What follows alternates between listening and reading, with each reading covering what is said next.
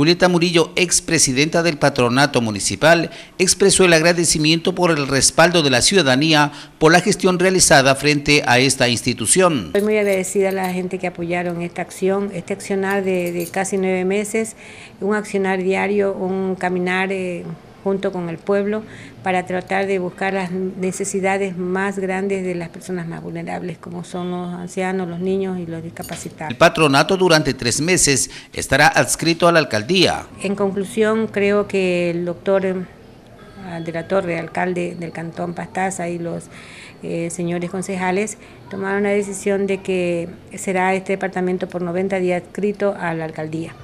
Entonces, por lo tanto, están en búsqueda de la persona que estará al frente eh, como directora eh, de, esta, de esta hermosa entidad social a la cual yo le debo le presento mi respeto. Murillo, por pedido del señor alcalde, estará cerca de la persona que asuma la dirección. Me comprometo a estar siempre cerca de esta institución y de todas las personas vulnerables. Creo que esa es una de las misiones que yo me he puesto en el camino y tengo que terminarla con el doctor de la Torre bien. Sí, el señor alcalde me dijo pues que estará, él nombrará a la persona eh, preparada, que tenga sus títulos de tercero o cuarto nivel, pero que yo estaré ahí dando, siguiendo con los, los, proyectos que están aquí presentes y e implementar los proyectos que están analizados y estudiados para poderlos sacar adelante, como es los talleres de manualidades, el taller de pues, de niñas maltratadas, de los niños abandonados y también uno que,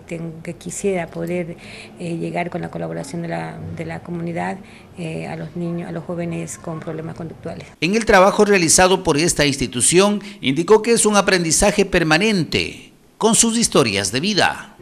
Eh, he aprendido demasiado con, con, la gente, he aprendido a valorar más al ser humano, más que nada al ser humano indígena, que no lo conocía y que no, no, veía la pobreza de ellos. ¿no? Siempre digo que la pobreza de mi pueblo es diferente a la pobreza de acá.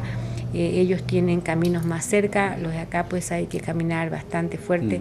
Hace poco estuve en una comunidad que, que no sé ni cómo llegué allá, pero tuve que cruzar Riachuelo y ahorita que estoy así con, esta, con un problema de salud, sinceramente que que después de estar arriba me maravillé del Señor que me permitió llegar y conocer a esa gente, un pueblo de 18, una comunidad de 18 familias tan unidas, tan hermosas, que me invitaron, un grupo de mujeres para hacer una reunión de trabajo y no me podía negar.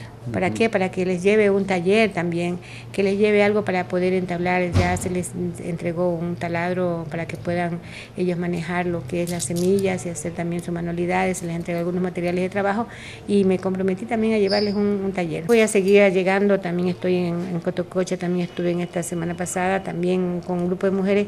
En esa forma voy a llegar acá, a la mayoría de las comunidades que me lo soliciten y donde yo sepa que hay mujeres emprendiendo.